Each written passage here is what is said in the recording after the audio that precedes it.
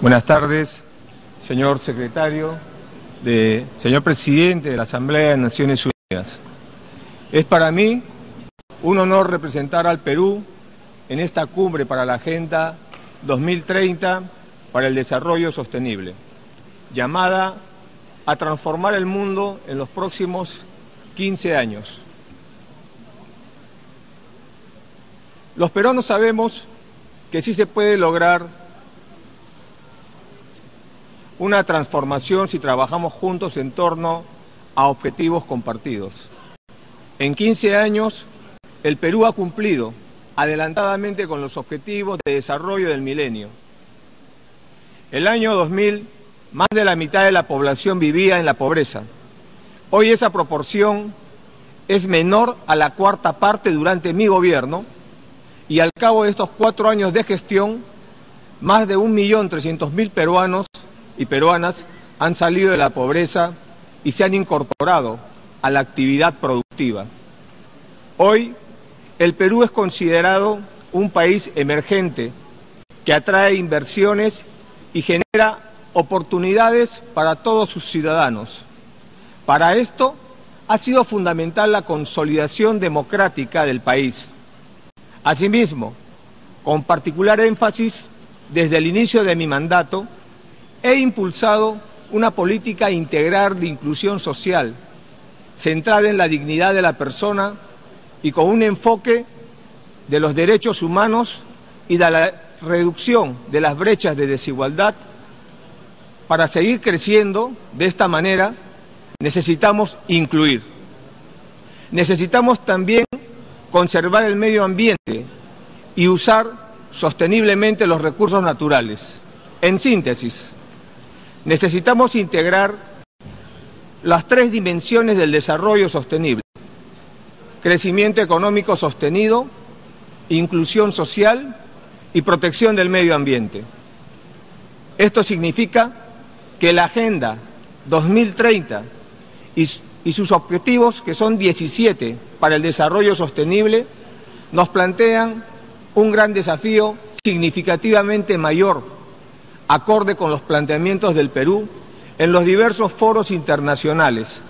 No se trata ya solamente de erradicar la pobreza extrema.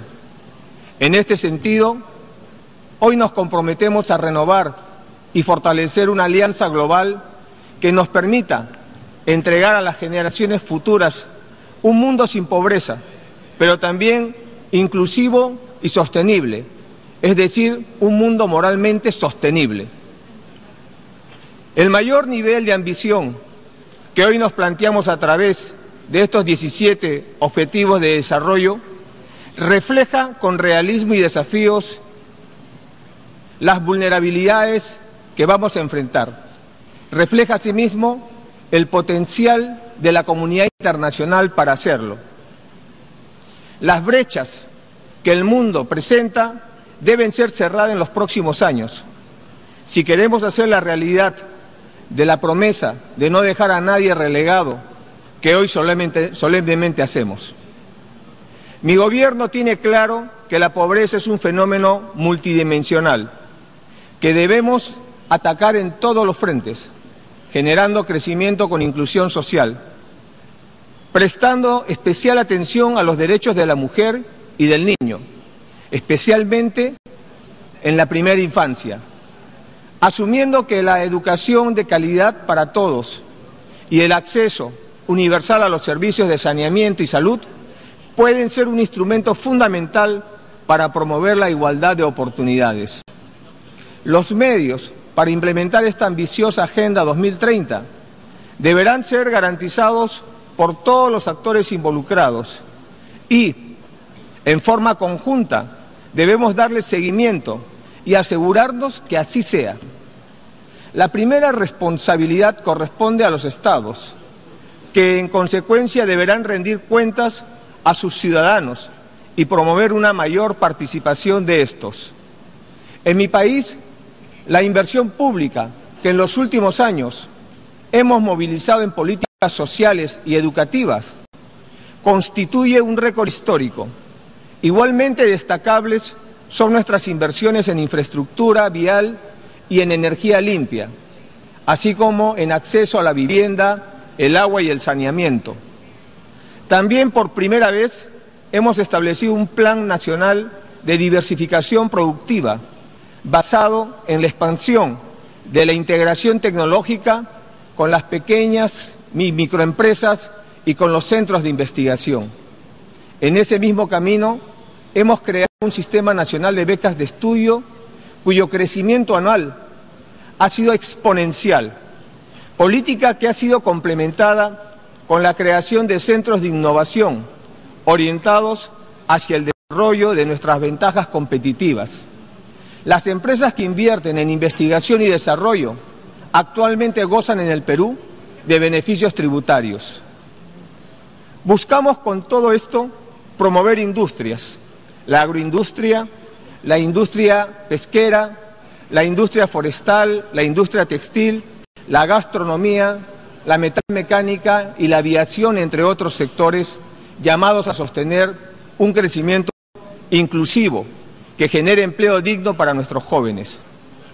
El pasado 28 de julio, al cumplirse un nuevo aniversario de la independencia de mi patria, el Perú, me referí a todos los elementos que acabo de mencionar.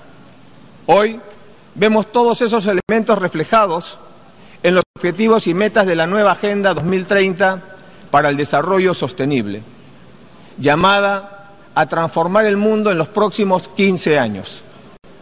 El año 2021, la República del Perú celebrará su bicentenario.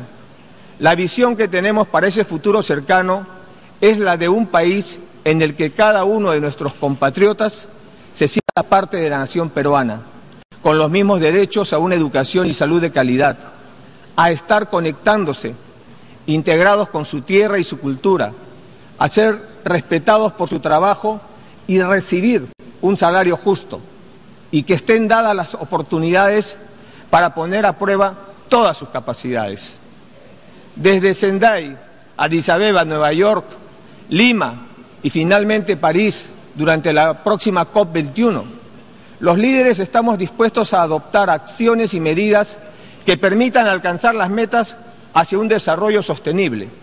En ese sentido, la COP21 en París será decisiva para orientar nuestras sociedades hacia un patrón de desarrollo bajo en carbono, con mayor resiliencia y teniendo en cuenta las necesidades y expectativas de los pobladores más vulnerables al cambio. En el diálogo interactivo que copresidiré con el presidente de Francia sobre cambio climático, esperamos que se pueda reafirmar el compromiso político de trabajar hacia un resultado exitoso en la COP21. La Agenda 2030 nos ofrece una visión similar para todos los pueblos del mundo y nos compromete a todos a hacer realidad el futuro que queremos. El cumplimiento de estos ambiciosos objetivos es un reto enorme que puede ser comparado con algunos como encontrar el paraíso celestial en la tierra.